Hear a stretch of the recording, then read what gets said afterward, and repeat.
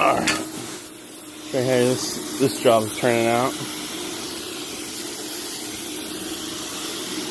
This is a funny story, guys. We did this, restored it, okay, all back to like what you're seeing now, okay? And then they decided to be sneaky and they would call back the cleaner that they had before now that we restored it.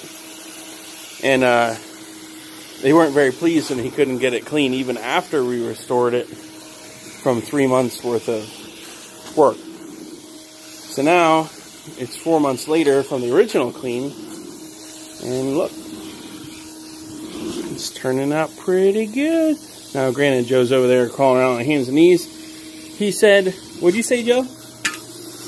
Almost laying down on the job. Almost laying down on a job. So, yeah. Anyway, he's taking care of some stubborn uh, gum and grease spots that just aren't releasing. But that picture I posted earlier is up there, and that's right out of the kitchen. So, yeah. So you got all kinds of fun left to do, and then there's a front part up there. But this back here takes the beating, so I'm going to keep killing it with the zipper here. And things like the flushing master.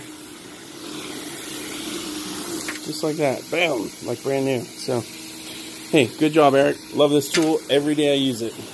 Never regret it. Never regret it.